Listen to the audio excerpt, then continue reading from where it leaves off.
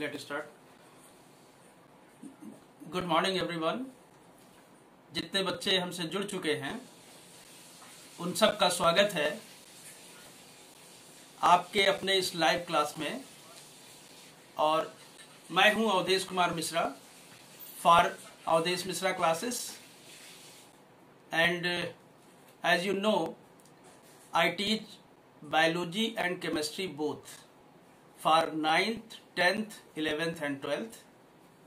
So student, our today's topic is laws of chemical combination. So let us start study. What are laws of chemical combination? As you know, chemistry is the study of atoms and molecules. तो आज का जो topic है बच्चों, वो कुल मिला के हम बात करेंगे कि एलिमेंट से कंपाउंड कैसे बनते हैं। और जब एलिमेंट से कंपाउंड बनते हैं तो किन प्रिंसिपल्स पर, किन नियमानुसार बनते हैं यही आज आपको हम पढ़ाएँगे। अब देखें, मैंने सबसे पहले आपको केमिस्ट्री की अपनी सबसे पहली वीडियो में मैटर्स के बारे में क्यों पढ़ाया था। उसका सबसे पहले आप यही देख लें कि बिना मैटर्स के आप केमिस्ट्री पढ़ नहीं सकते। मैटर्स किससे बने हैं, ये पढ़ना है। तो आपने देखा कि मैटर्स दो तरह के हैं, प्योर और मिक्सचर। हम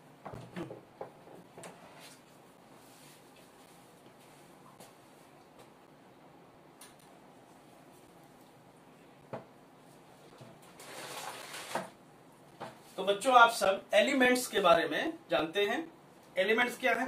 प्योर सब्सटेंस है, प्योर मैटर है, जो सिर्फ़ एक ही टाइप के एटम्स से मिलकर बना है। आप यूँ कह सकते हैं कि सिंपलर सब्सटेंस है। यानी इससे सिंपल कोई सब्सटेंस नहीं हो सकता है। इसको हम चाहे कोई भी फ़िज़िकल या केमिकल मेथड लगा ले और अगर हम चाहे इसको और सिंपल में कन्वर्ट कर दे तो नहीं पॉसिबल है। हाँ लेकिन एलिमेंट से मिल करके क्या बनता है? कंपाउंड बनता है। एलिमेंट से बन रहा है कंपाउंड्स अब यहाँ पर ये जो आज का टॉपिक है लॉज ऑफ़ केमिकल कॉम्बिनेशन यानी रासायनिक संयोग के नियम, इसमें आप यही पढ़ेंगे, ये वही नियम है जो बताते हैं कि एलिमेंट्स से कितने एटम दूसरे एटम से, यानी दूसरे एलिमेंट के एटम से जुड़ करके और कंपाउंड का फॉर्मेशन करेंगे। तो basically what is the meaning of this laws laws as you know the rules by which any work is done and chemical yani chemical chemical means study of atoms and molecules. Combination combination means two uh, atoms of two or more elements combined together and form compound. So in this way here the laws of chemical combination explains or show the way how the elements combine and form compound यहाँ पर आपको सिर्फ़ यही देखना है। अब समझ लें एलिमेंट से मिलकर के कंपाउंड बनना है। दो एलिमेंट हैं, मान लेते हैं। दो एलिमेंट हम ले लें कार्बन एंड ऑक्सीजन ये मिलकर के कंपाउंड का फॉर्मेशन कर रहे हैं। तो अब देखना यह है कि कैसे जुड़ेंगे ये, कितने होंगे। तो आप जानते हैं कि आप carbon and oxygen combine and form carbon dioxide and also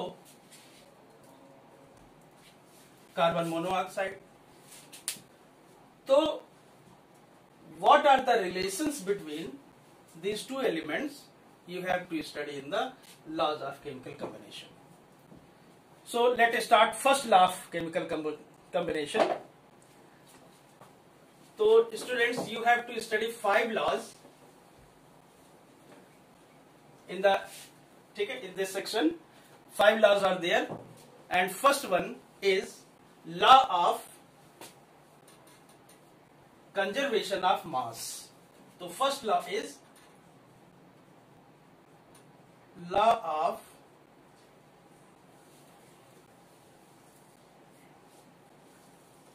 conservation of mass because so many Hindi medium students are also studying in this section. So we have to explain it in Hindi also. So law of chemical uh, law of conservation of mass is also known as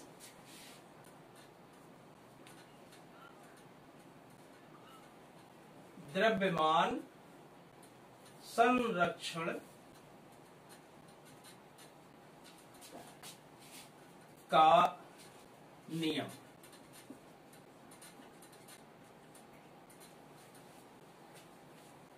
So first of all study the meaning of this law law यानी rules and regulation ठीक है? With the help of this any work is done तो here this laws is about chemical combination so in this regard conservation of mass conservation means protection of mass यानी mass is protected द्रव्यमान the same way in Hindi also Hindi में भी उसका मतलब वही है, द्रव्यमान संरक्षण का नियम, यानी कंजर्वेशन ऑफ़ मास मास को कंजर्व करना है।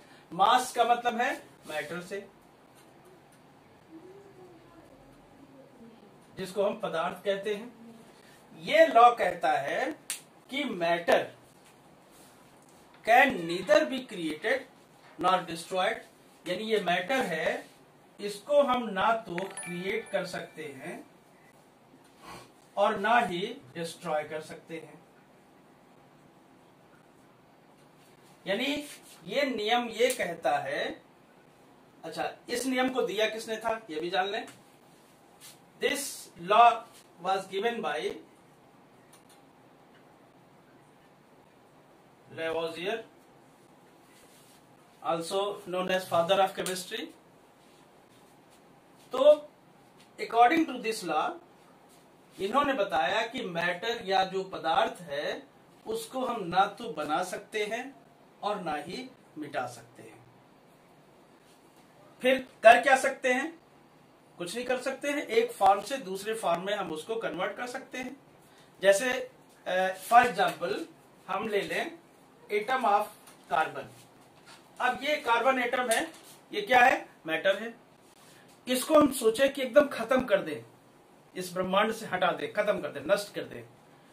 तो इट इज़ इम्पॉसिबल यह संभव ही नहीं है कि हम इस कार्बन एटम को एकदम से मिटा दे, नष्ट कर दे, खत्म कर दे। नहीं। या अगर हम दूसरी तरफ़ चाहें कि एक कार्बन एटम हम बना लें, ये भी नहीं पॉसिबल है।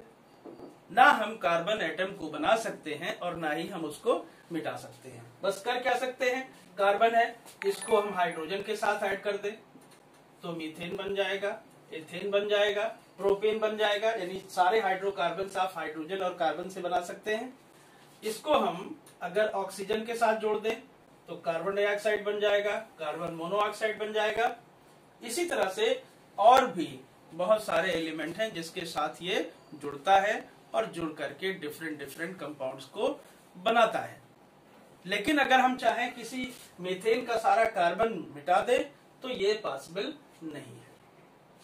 तो law of conservation of mass is stated that कि in any chemical or physical reaction or you can say during any physical or chemical reaction the total mass of system before and after reaction is constant ठीक है total mass किसी system का वो हमेशा क्या होगा constant होगा अब इसको देखें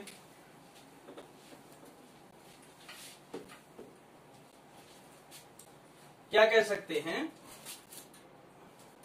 in any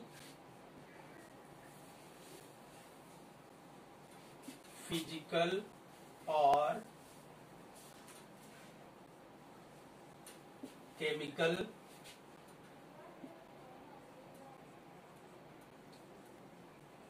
reaction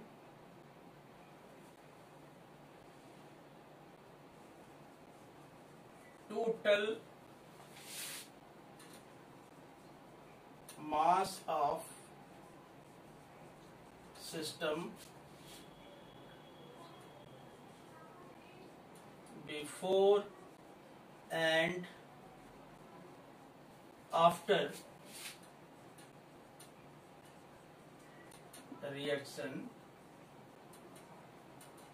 remain constant या सेम ठीक है कांस्टेंट भी हम कह सकते हैं और सेम भी कह सकते हैं। For example if two elements or substance combined each other and form two compound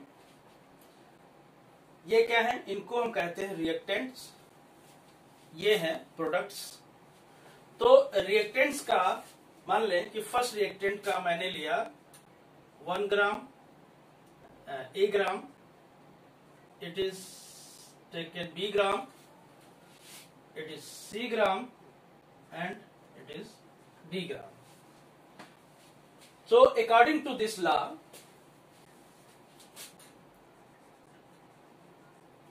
mass of reactants is equal to mass of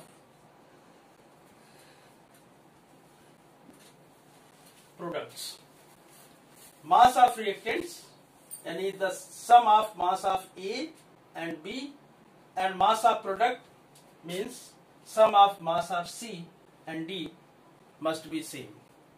Here you can see mass of A is A gram, mass of B is small b gram must be equal to mass of C that is C gram and mass of D that is Gram.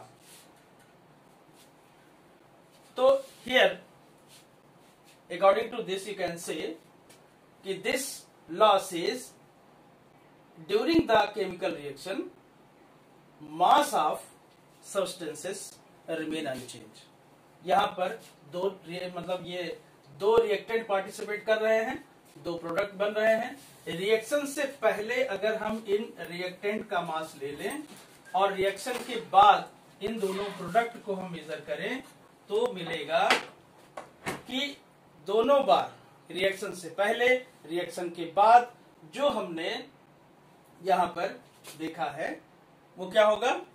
दोनों का mass same होगा। इसके लिए एक scientist थे लैंडोल्ट उन्होंने एक experiment किया। ठीक है? इसको आप नोट कर लें। दूसरा मार्क कर लिया। बच्चों नोट्स बनाते चलें। ये आप लिख लें। दीदी!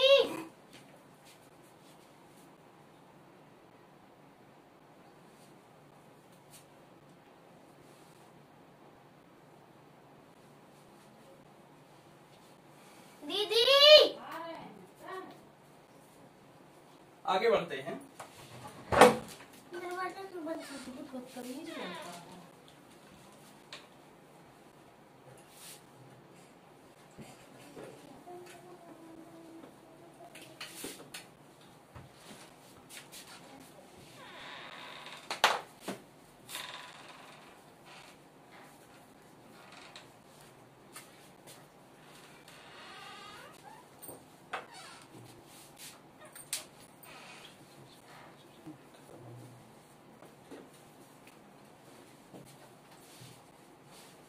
लेओजियर के इस लॉ के सपोर्ट में एक साइंटिस्ट थे लैंडोल्ट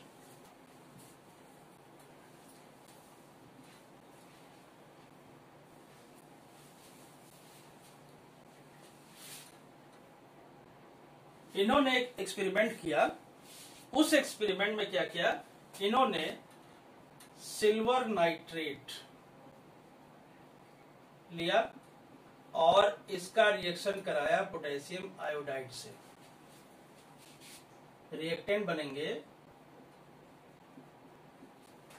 Silver iodide and potassium nitrate क्या किया इन्होंने? He took a glass vessel in this shape he filled silver nitrate here.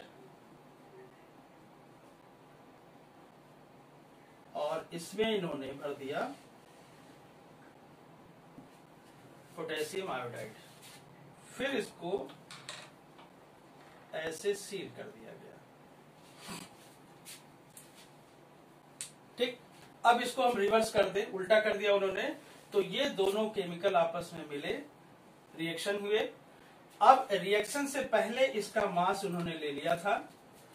यह है बिफोर रिएक्शन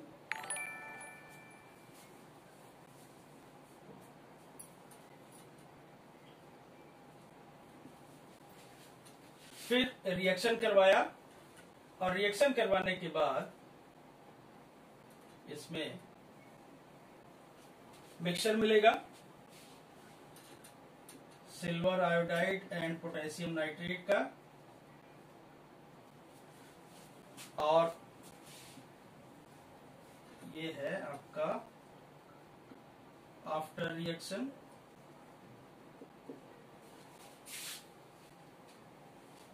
इन्होंने बड़ी सावधानी से दोनों का मास लिया और देखा कि in both cases mass remain unchange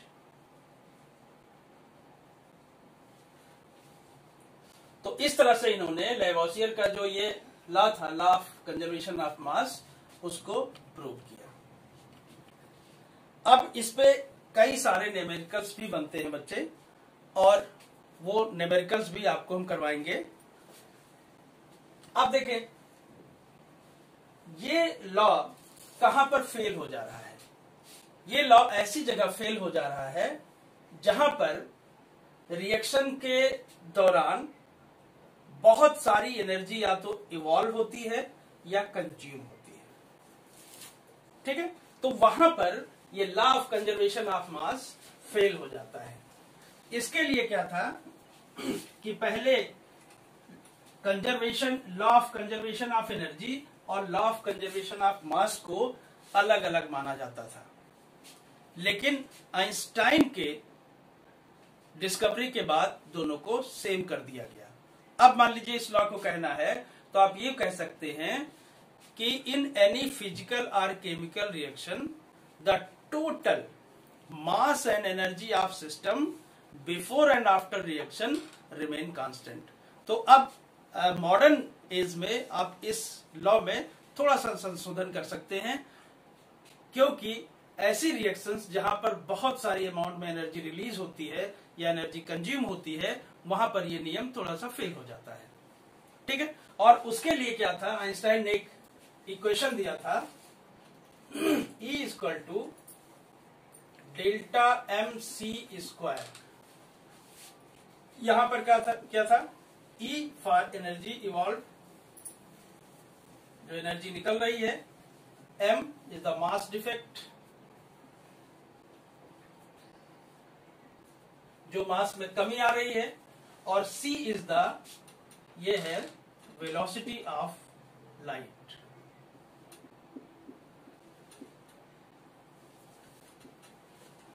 अब ऐसी रिएक्शंस जहाँ पर बहुत सारे अमाउंट में एनर्जी रिलीज़ हो रही है या कंज्यूम हो रही है, वहाँ पर क्या होता है कि अगर एनर्जी रिलीज़ होगी तो एनर्जी कहाँ से आ रही है? अगर किसी केमिकल रिएक्शन में, मान लो न्यूक्लियर रिएक्शन है। तो न्यूक्लियर फिजन है, न्यूक्लियर फ्यूजन है, इसमें बहुत सारी एनर्जी रिलीज़ हो रही है, निकल रही है।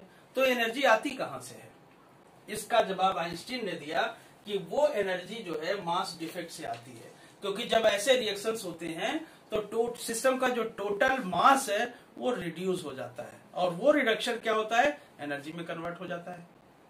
इसी तरह से अगर एनर्जी एनर्जी कंज्यूम हो रही है तो मास थोड़ा सा बढ़ जाता है। यानी mass and energy both are invert interconvertible with each other mass और एनर्जी को हम एक दूसरे में कन्वर्ट कर सकते हैं।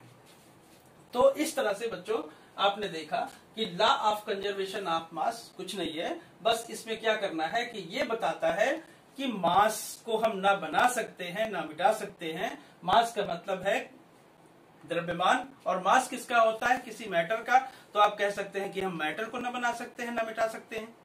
अब मास या मैटर किससे बना होता है? एटम से बने होते हैं मालिक्यूल से बने होते हैं। तो ये नियम उस पर भी लागू होता है कि एटम को ना हम बना सकते हैं, ना मिटा सकते हैं। और इस बात को डॉल्टन अपने थियरी में भी बताया था कि एटम को ना हम बना सकते हैं, ना मिटा सकते हैं। तो दोनों मिलाकर के यहाँ पर हम कह सकते हैं। अब इस लॉक में आप देखें कि लेवोजियर का भी कंट्रीब्यूशन है डाल्टन का भी थोड़ी बहुत बात इसमें आ रही है। और इसके अलावा आप देखिए जो लैंडोल्ट हैं, उन्होंने भी अपना योगदान दिया। तो इस तरह से सब मिलाकर के law of conservation of mass इसमें कहा गया कि अगर इसमें आप ये भी हम कह सकते हैं कि दो एलिमेंट मिल करके अगर कंपाउंड बना रहे हैं तो दो एलिमेंट का जो मास होगा, वही कंपाउंड का होगा। और आज हम इसको देख भी सकते हैं।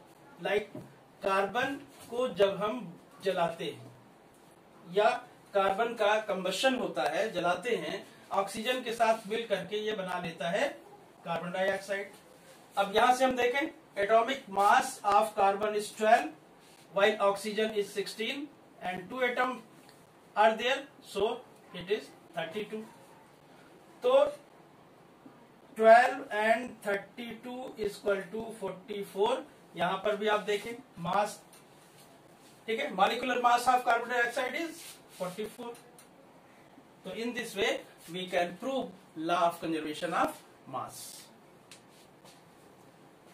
and now student next law is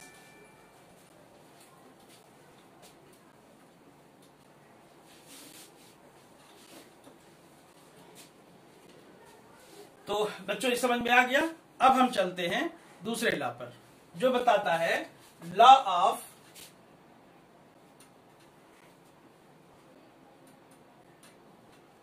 definite proportion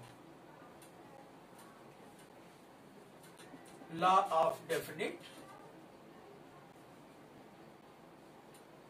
proportion. अब देखिए इसमें क्या है? This law was given by Joseph Proust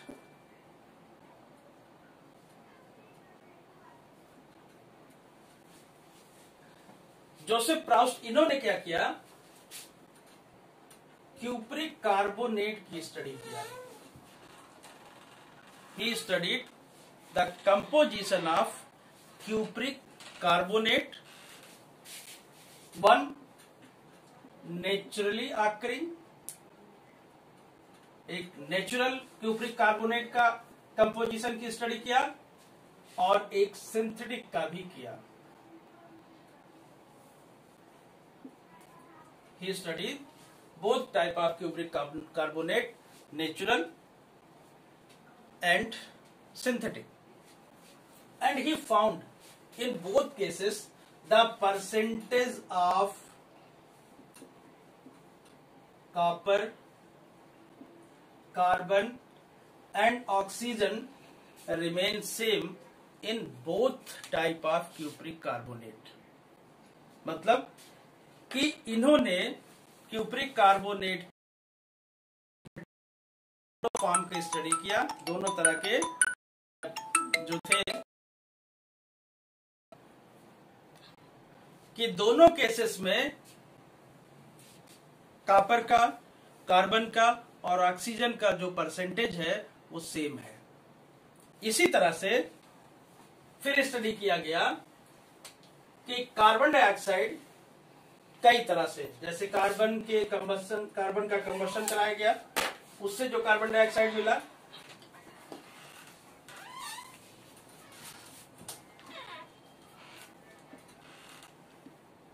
carbon के कंबस्टन से कार्बन डाइऑक्साइड मिला कैल्शियम कार्बोनेट को गर्म किया गया। उससे जो कार्बन डाइऑक्साइड मिला। सोडियम कार्बोनेट को गर्म किया गया। उससे कार्बन डाइऑक्साइड मिला। इन सब के जो कार्बन और ऑक्सीजन है, इसमें फाइनली कार्बन और ऑक्सीजन का परसेंटेज निकाला गया तो सब में सेम मिला। तो इस तरह से यह प्रूव हो गया कि किसी भी कंपाउंड में उसके जो एलिमेंट्स हैं, उनका परसेंटेज बाय मास वो डेफिनेट होता है। तो in this way you can say this law states that in any compound, the proportion of elements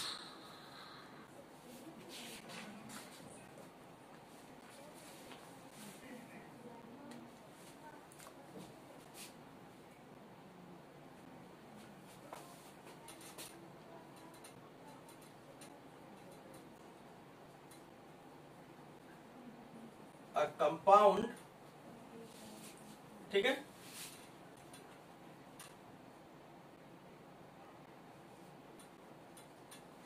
in a compound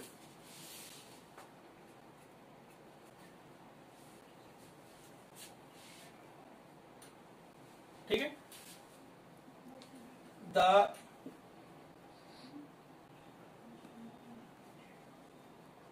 proportion of elements are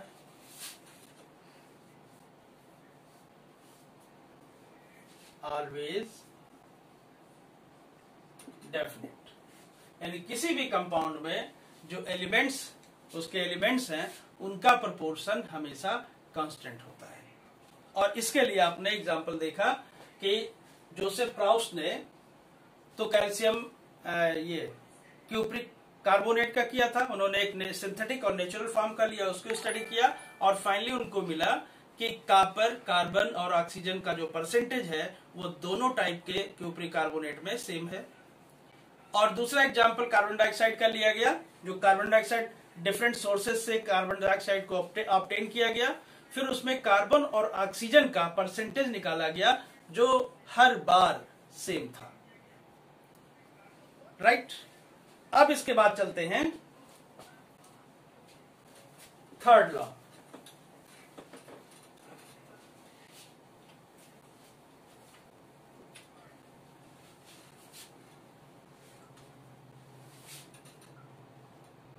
third law is law of multiple proportion अब यहाँ पर देखें law of definite proportion था, वो एक compound के लिए था। अब क्या है? लॉ ऑफ़ मल्टीपल प्रोपोर्शन ये भी कंपाउंड के फॉर्मेशन के लिए है। लेकिन यहाँ पर टर्म कंडीशन थोड़ी सी डिफरेंट है। कैसे है? इसको आप कहें law of multiple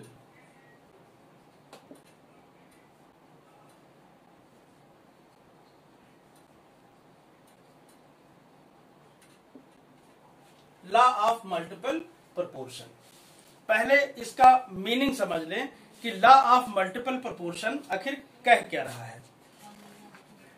तो सबसे पहले आप देखें law of multiple proportion multiple क्या होता है? मल्टीपल आप पढ़े होंगे मल्टीपल और फैक्टर्स के बारे में। ठीक है मल्टीपल यानी किसी नंबर को हम मल्टीप्लाई करें वन से टू से थ्री से जो नंबर मिले उसको कहा जाता है मल्टीपल तो लॉ ऑफ़ मल्टीपल प्रोपोर्शन ये कहता है कि if two elements if two elements form two or more compounds. ठीक है, अगर दो एलिमेंट दो या उससे ज़्यादा कंपाउंड का फॉर्मेशन करते हैं तो क्या होगा?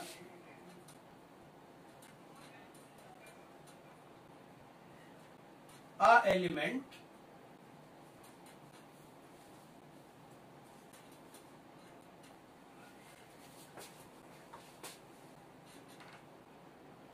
combine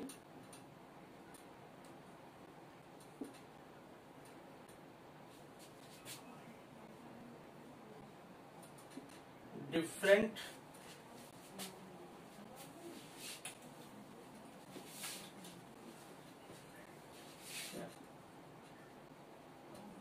masses of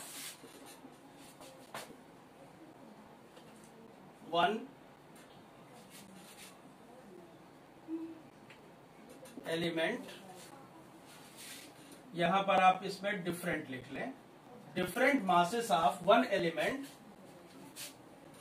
combine with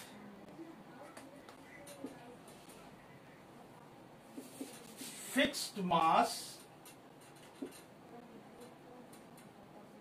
of other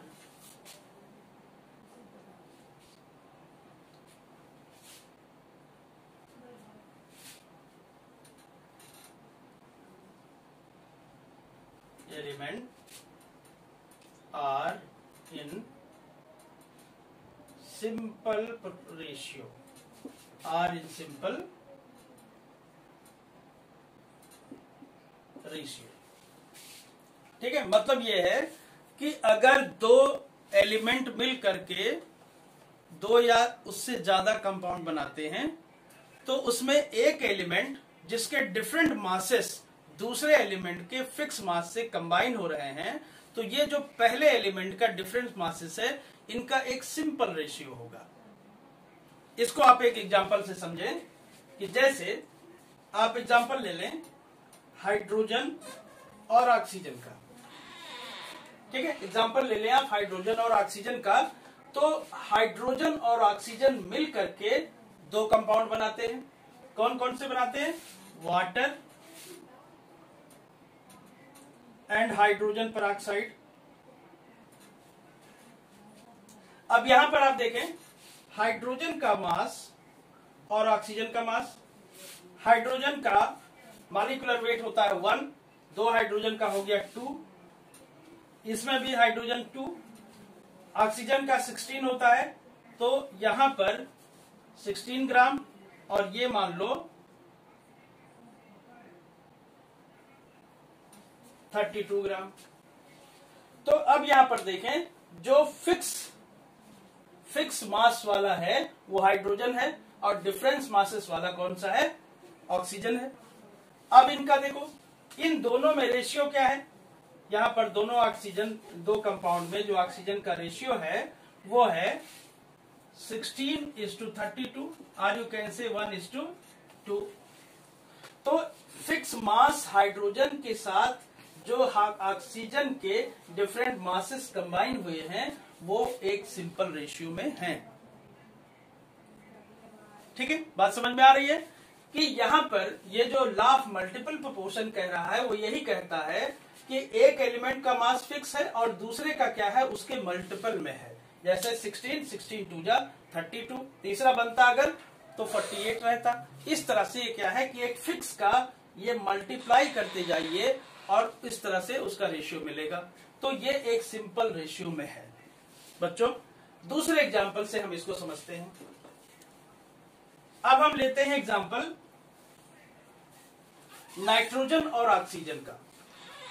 ठीक है नाइट्रोजन ऑक्सीजन के साथ मिल करके फाइव परमानेंट कंपाउंड्स का फॉर्मेशन करते हैं। यानी nitrogen and oxygen combined with each other and form five different permanent compounds. These are N2O,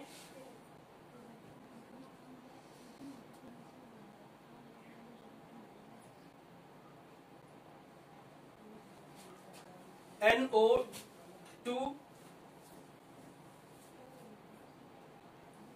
NO2, N2O3 and N2O5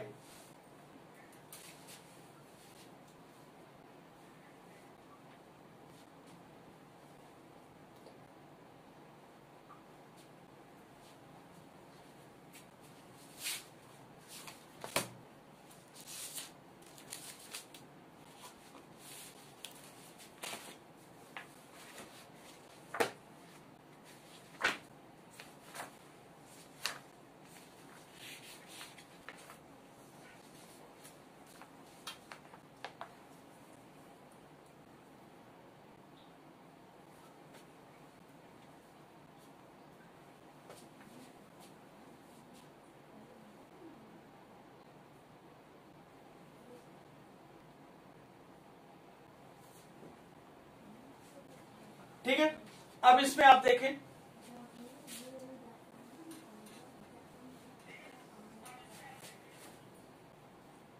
जैसा कि हम जानते हैं कि नाइट्रोजन का एटॉमिक मास है 14 और ऑक्सीजन का होता है 16 तो यहाँ आप देखें नाइट्रोजन का और इधर आप ले लें ऑक्सीजन का। इसमें नाइट्रोजन N2 तो ये हो जाएगा 14 टू जा 28 एंड ऑक्सीजन 16 यहाँ पर nitrogen 14 and oxygen 32 here nitrogen 14 oxygen 16 here nitrogen 28 and oxygen 16 3 ja 48 here, nitrogen 28 and oxygen 16 5 ja 80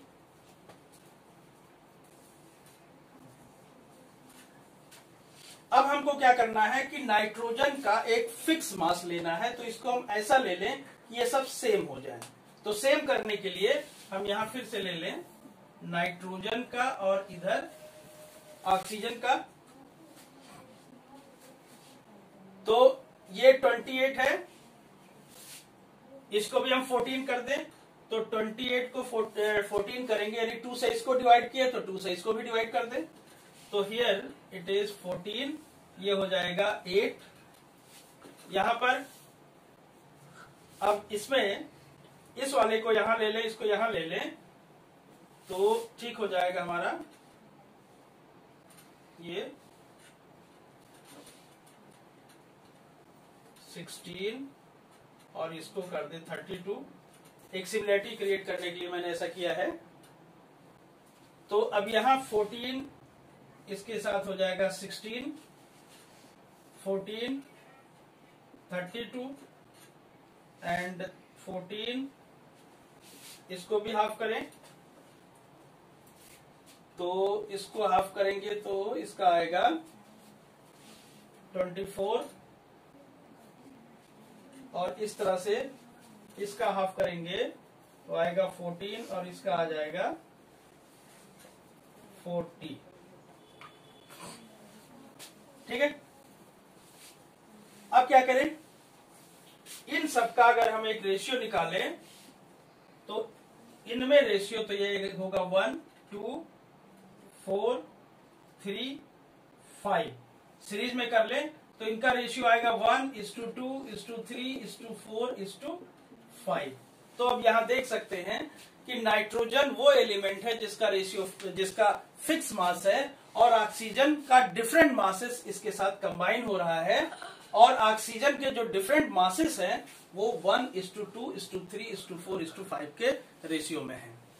इस तरह से आप कार्बन डाइऑक्साइड और कार्बन मोनोऑक्साइड का भी ले सकते हैं एग्ज़ाम्पल और उसमें भी आपको क्या होगा कि जो कंपाउंड जो एलिमेंट डिफरेंट मासेस में है, उसके डिफरेंट मासेस का एक सिंपल रेशियो होगा। तो यहाँ पर आप देखें, फिर से समझें लाफ मल्टीपल प्रोपोर्शन क्या कहता है? कि अगर दो एलिमेंट आपस में मिल करके दो या उससे ज़्यादा कंपाउंड बनाते हैं तो उसमें जो डिफरेंट मासेस यानी एक एलिमेंट के डिफरेंट मासेस दूसरे एलिमेंट के फिक्स मास से कंबाइन होता है तो जो डिफरेंट मासेस हैं, उनका एक सिंपल रेशियो होता है। वो एक सिंपल रेशियो में कंबाइन होता है। तो ये है, बच्चों लॉ ऑफ़ मल्टीपल प्रोपोर्शन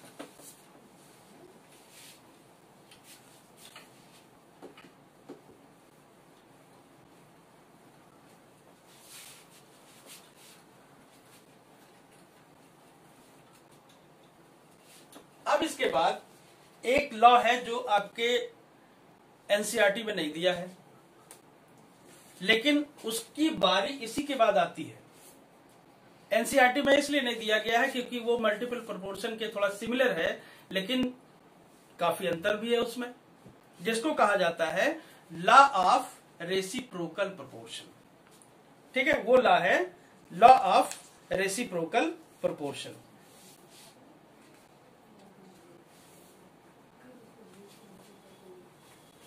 तो इसको हम हैश टैग मान लेते हैं। ठीक है? ये अलग से मैं आपको ला बता रहा हूँ, जो कि ये एनसीईआरटी बुक में नहीं है, लेकिन फिर भी बहुत इंपॉर्टेंट है। इसलिए उस लॉ को भी बताना ज़रूरी है, आप जान लें।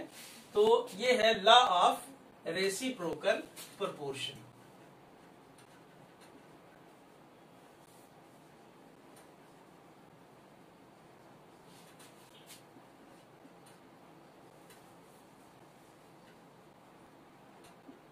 law of reciprocal proportion. इसमें क्या है कि लॉ ऑफ़ रेसिप्रोकल प्रोपोर्शन और लॉ ऑफ़ मल्टीपल प्रोपोर्शन में आप डिफ्रेंशिएट कैसे करेंगे? एग्ज़ाम में पूछता है, कुछ एग्ज़ाम्पल दे देता है और पूछ लेता है, बताओ ये जो कंपाउंड बने हैं, ये किस लॉ के बेस पे बने हैं? लॉ ऑफ़ मल्टीपल प्रोपोर्शन के बेस पे बने हैं या लॉ ऑफ़ रेसिप्रोकल प्रोपोर्शन के बेस पे बने हैं? तो इसमें सबसे आसान तरीका होता है डिफ्रेंशिएट करने का कि लॉ ऑफ़ मल्टीपल प्रोपोर्शन में दो एलिमेंट होते हैं। और लॉ ऑफ़ मल्टीपल जो रेसिप्रोकल प्रोपोर्शन होगा, उसमें तीन एलिमेंट होंगे। और तीन एलिमेंट का वो ट्रायंगल बना करके पूछता है। इसमें देखो क्या होता है? इसमें है कि अगर दो एलिमेंट किसी तीसरे एलिमेंट के साथ यानी दो एलिमेंट किसी तीसरे एलिमेंट के फिक्स मास से मिल करके डिफरेंट कंपाउंड बनाते हैं और वो आपस में भी मिल करके कंपाउंड बनाते हैं। तो जो आपस में मिल करके कंपाउंड बनाएँगे, उसमें मासेस का जो रेशियो होगा, इनके साथ जो बनाएँगे, उसमें एक आपको सिंपल रेशियो मिलेगा। करते क्या है इस पे? दो कंपाउंड इसको एग्जांपल से आप समझ लें। तभी इसका इसको आप डिफाइन कर सकते हैं। इसमें आप एग्जांपल ले सकते हैं। जैसे कार्बन का आप ले लें।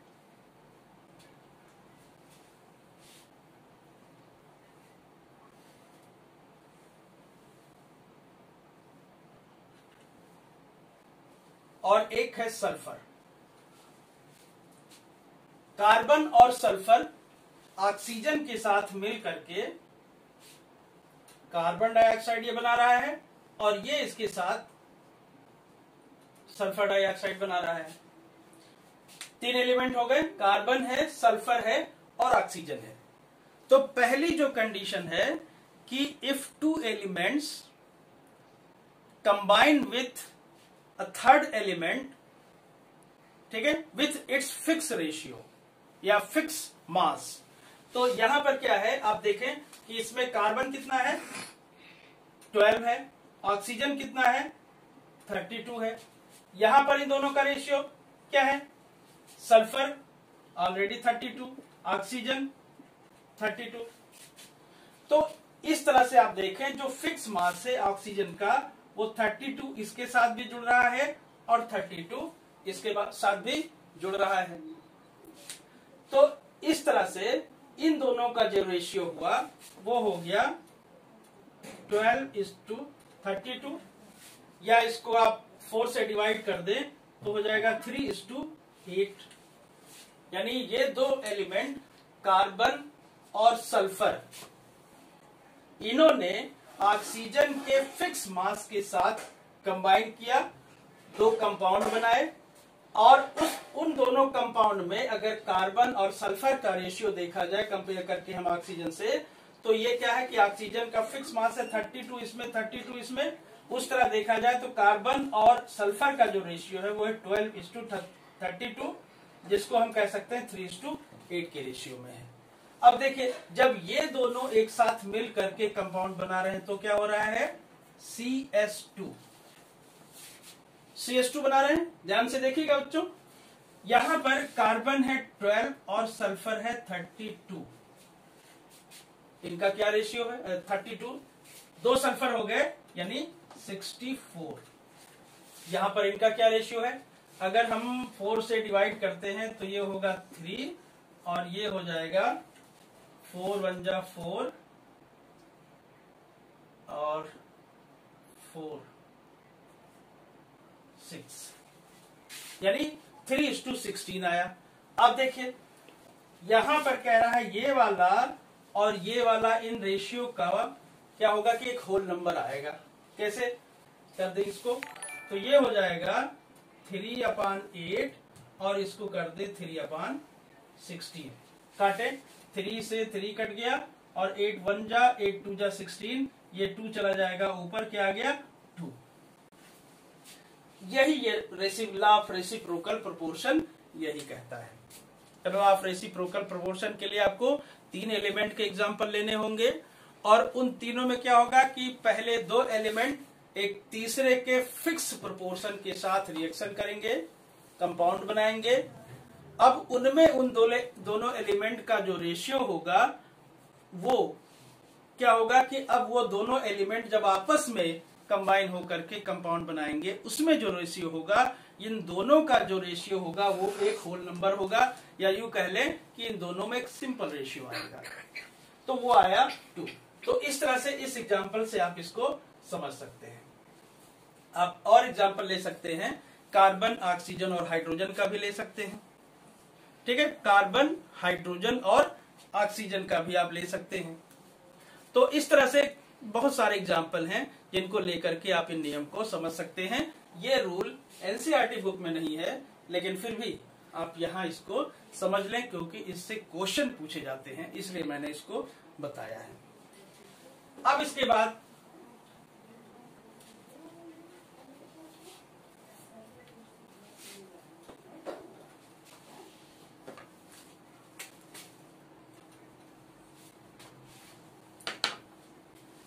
नाउ फोर्थ लॉ जो फोर्थ लॉ है, वो यहाँ पर गैसेस के बारे में है, जिसको कहा गया है Gay-Lussac's law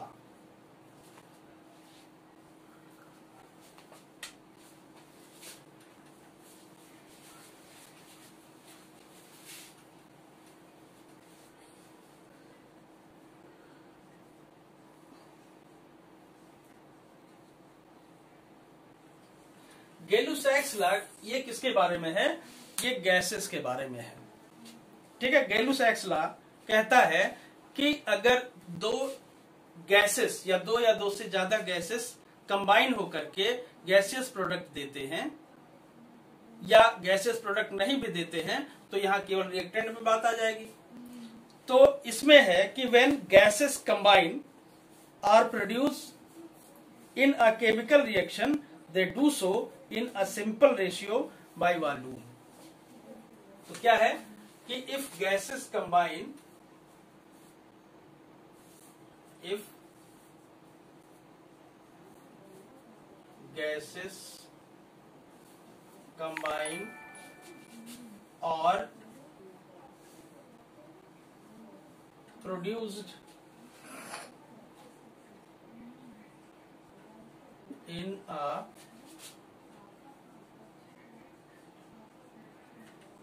chemical reaction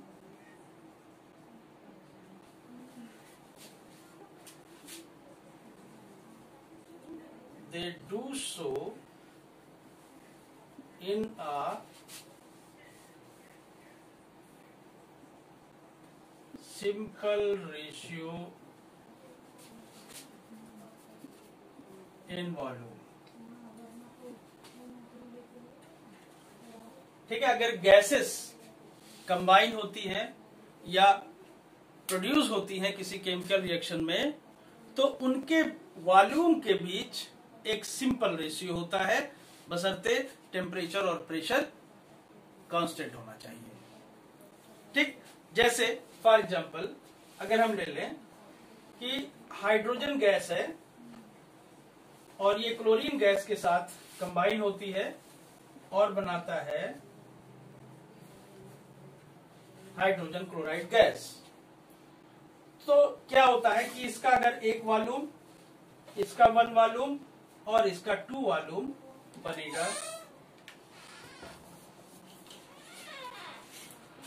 ठीक है, दूसरा एग्जांपल हम इसमें कह सकते हैं कि अगर मान लीजिए कि ये हम 100 एम ले लें, ये भी 100 एम होगा और ये 200 एम बनेगा। अब इसमें क्या है, क्वेश्चन भी कर सकते हैं कि मान लीजिए कि हम लेते हैं कि मीथेन को हम, मीथेन का कंबशन कराते हैं, ठीक है? तो पहले इसको एक बार समझ लें। If gases combine or produced अगर गैसेस कंबाइन होती हैं या बनती हैं किसी केमिकल रिएक्शन में तो ये इनका सबका एक फिक्स प्रोपोर्शन होता है। इनके वॉल्यूम का एक फिक्स प्रपोर्शन होता है और कैसा सिंपल प्रपोर्शन यानी कोई हाफ़ नहीं होगा। One one one two two two three one two three one two three four ऐसे इनके अंदर, इनके में जो है रेशियो होगा। अब इसके लिए एक एग्जांपल से इसको हम सॉल्व कर सकते हैं। एग्जांपल ले ले, एक क्वेश्चन सॉल्व करते हैं इसमें।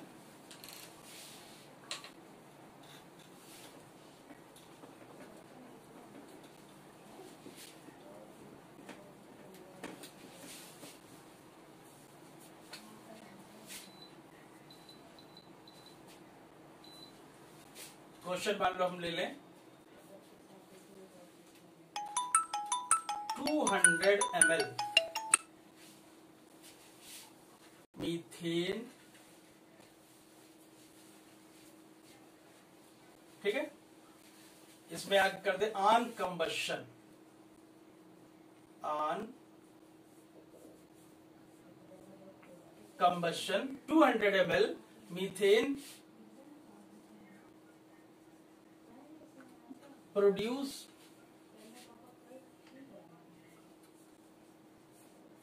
water and carbon dioxide ठीक है find the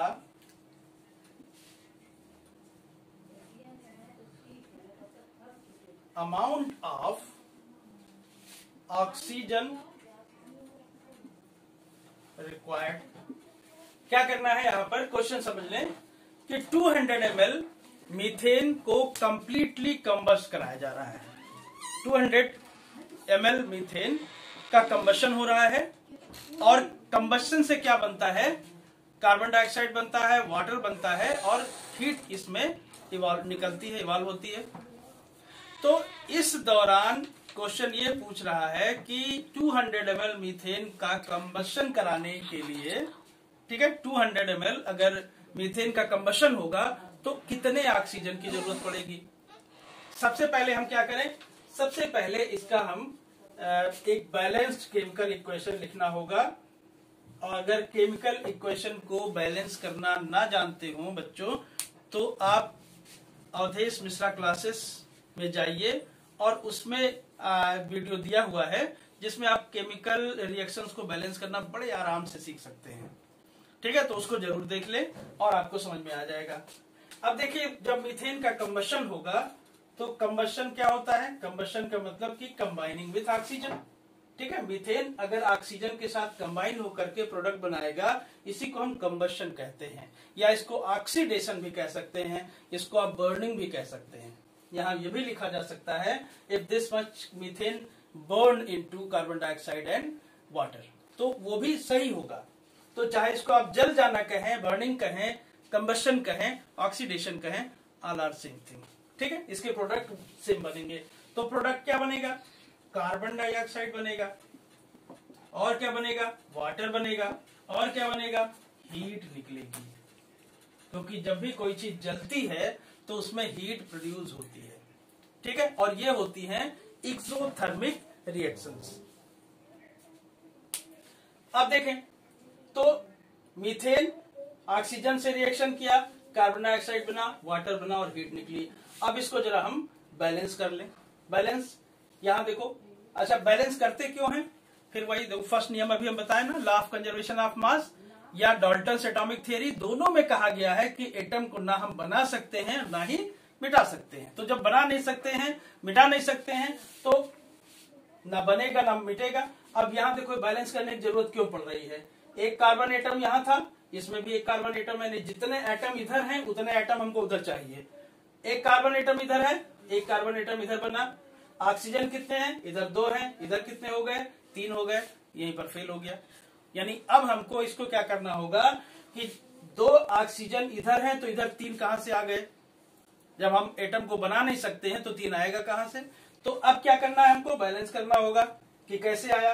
तो इसके लिए वन कार्बन वन कार्बन, यानी कार्बन के बैलेंस की ज़रूरत हमको नहीं पड़ेगी।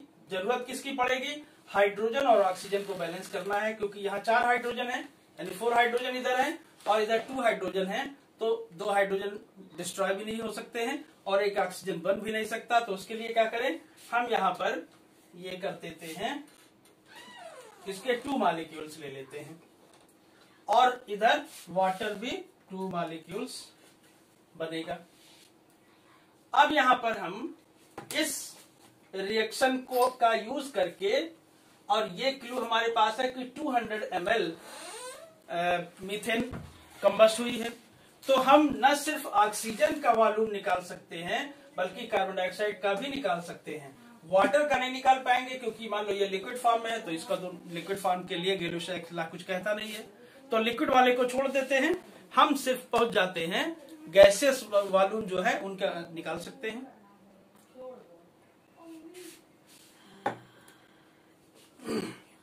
देखें तो गेलुसैक्ला ये कहता है कि मीथेन वन वॉल्यूम रिएक्ट करेगा ऑक्सीजन के टू वॉल्यूम से।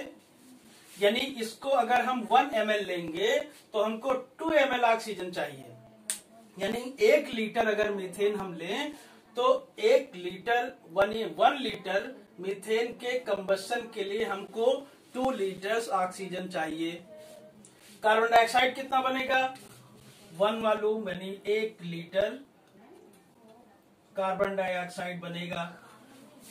वाटर छोड़ दो। अब क्या करना है हमको? ये जान गए कि अगर one M L one volume यानी वन एम एल अगर हम मीथेन लेते हैं तो 2 ml ऑक्सीजन की ज़रूरत पड़ती है और 1 ml कार्बन डाइऑक्साइड बनेगा। According to question two hundred M L methane has been taken so two hundred M L methane ठीक है कंबाइन विथ 400 यानी just double of the methane four hundred M L of oxygen and two hundred M L carbon dioxide will produce so in this way we can find out the volume of oxygen as well as carbon dioxide in, with the help of this reaction and Gay-Lussac law. ठीक है? दोनों का हम use करके यहाँ बता सकते हैं। तो अब इस रिएक्शन का आंसर क्या हो गया? 400 hundred oxygen will be required for the complete combustion of 200 hundred methane and also you can say 200 hundred carbon dioxide will produce ठीक? तो इस तरह से गेलुसैक ला को हम यूज़ करके दोनों बता सकते हैं। ठीक है बच्चों? जो नहीं समझ में आएगा, आप पूछ सकते हैं। ठीक है? उसका आंसर भी हम देने का पूरा प्रयास करेंगे।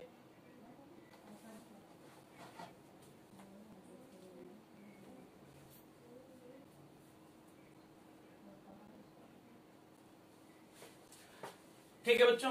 नेक्स्ट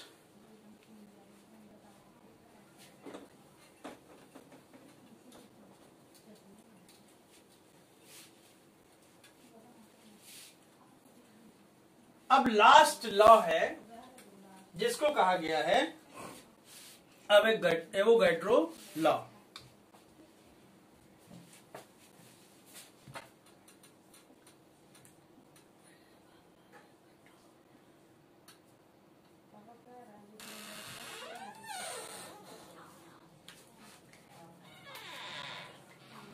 आप देखो एवोगैड्रो ने क्या कहा? ये कुछ गैसेस के वॉल्यूम के बारे में कहा है। ठीक है? गैसेस के वॉल्यूम में इन्होंने कहा equal volume of gases at the same temperature and pressure contain equal number of molecules ठीक है? इन्होंने क्या कहा? Equal volume of gases at constant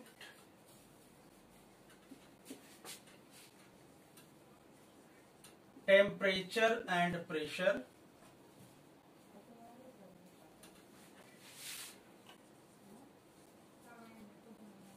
Contain same number of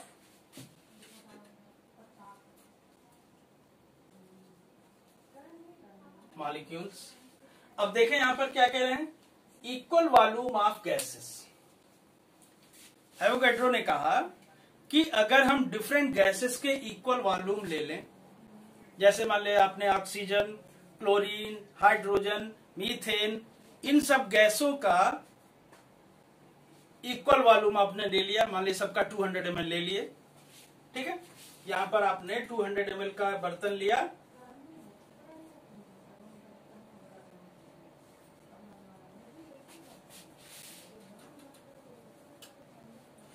इसमें ऑक्सीजन गैस लिया आपने?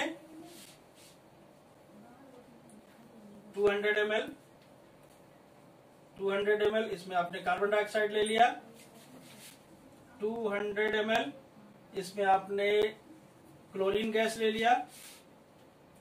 200 हंड्रेड एम इसमें आपने हाइड्रोजन ले लिया। और यहाँ पर आपने 200 हंड्रेड मान लो you have taken methane gases. So in this way, there are five vessels and all of 200 ml यानी सबका वॉल्यूम 200 ml है और इसमें आपने फाइव डिफरेंट गैसेस को भर दिया। और यहाँ पर क्या है कि जो फ़िज़िकल कंडीशंस हैं वो रिमेन अनचेंज आपको रखना है। यानी क्या है? यहाँ पर कांस्टेंट टेम्परेचर एंड प्रेशर इनका सबका प्रेशर और टेम्परेचर सेम है कांस्टेंट है। ठीक है? ना, सब में, अगर इसमें प्रेशर जितना आप लगाए हैं, वही इतना, वही इतने, वही इसमें वही इसमें। टेम्परेचर भी सबका सेम होना चाहिए। तो एवोगैड्रो ने क्या कहा? कि मान लीजिए ऑक्सीजन के एक्स मालिक्यूल्स हैं इसमें। तो इसके भी एक्स मालिक्यूल्स होंगे। इसके भी एक्स मालिक्यूल्स होंगे, इसके भी एक्स होंगे, इसके भी एक्स मालिक्यूल्स होंगे। यानी सभी गैसेस के सेम नंबर ऑफ़ मालिक्यूल्स होंगे। अगर इसमें वन लैख है तो इसमें भी वन लैख मालिक्यूल इसमें भी वन लैख मालिक्यूल इसमें भी वन लैख मालिक्यूल इसमें भी वन लैख मालिक्यूल यानी यहाँ पर क्या है कि कौन सी गैस है, ये आपको ध्यान नहीं देना है। बस वॉल्यूम अगर सेम है, वो चाहे जो भी गैस हो वॉल्यूम सबका सेम है, ठीक है? और टेम्परेचर और प्रेशर कांस्टेंट है। तो नंबर ऑफ़ मॉलिक्यूल सब में कांस्टेंट होंगे, यानी सेम होंगे। ठीक है? अब जैसे मान लीजिए क्वेश्चन ये कह रहा है कि 200 हंड्रेड में एक्स वॉल्यूम है तो अगर हम 400 हंड्रेड ले लें तो 2x मालिक्यूल्स हो जाएगा। अगर हम इसका 10 टाइम्स ले लें तो number of molecules will be 10 times तो इस तरह से एवोगैड्रो ने गैसेस के लिए ये फार्मूला दिया कि अगर डिफरेंट गैसेस के हम सेम इक्वल वॉल्यूम ले लें टेम्परेचर प्रेशर सेम हो तो उनमें नंबर ऑफ़ मॉलिक्यूल्स भी सेम होते हैं। तो बच्चों, आपने देखा कि ये जो फाइव इंपॉर्टेंट लॉज हैं केमिकल कॉम्बिनेशन के लिए, इन्हीं के बेस पर कंपाउंड्स का फॉर्मेशन होता है। तो ये सारे लॉज आपके समझ में आ गए होंगे। आपने, हम पढ़ाते गए हैं, आप साथ साथ अगर इसका नोट्स बनाते गए हैं तो बड़ी अच्छी बात है, आपके पास एक नोट्स भी मिल गया। और इससे रिलेटेड जो न्यूमेरिकल्स हैं, वो हम अगली बार आपको बताएँगे। कुछ, एक दो न्यूमेरिकल्स बताए ही हैं, और भी बता देंगे, और भी एग्ज़ाम्पल आपको बता देंगे। ठीक है? और नेक्स्ट वीडियो में कुछ न्यूमेरिकल्स होंगे और इसके साथ साथ आपको हम मोल कॉन्सेप्ट्स भी बताएँगे कि आखिर मोल कॉन्सेप्ट्स क्या होता है। तो बच्चों ये सब आपने देखा समझा? और इसी तरह से आप हम्म, देखते रहिए। और हमारा चैनल आप जानते ही हैं अवधेश मिश्रा क्लासेस है। उसको आप सब्सक्राइब कर लीजिए। ठीक है? जिससे आपको नोटिफिकेशन मिलता रहे और वीडियो हमारे पसंद आए, समझ में आए तो आप लाइक करिए और कमेंट करके हमको बताइए कि हमारे वीडियो कैसे हैं। कोई कंफ्यूजन है, उसको भी आप कमेंट्स करके पूछ सकते हैं। तो बच्चों थैंक यू फॉर वॉचिंग और हम जल्द ही फिर मिलेंगे।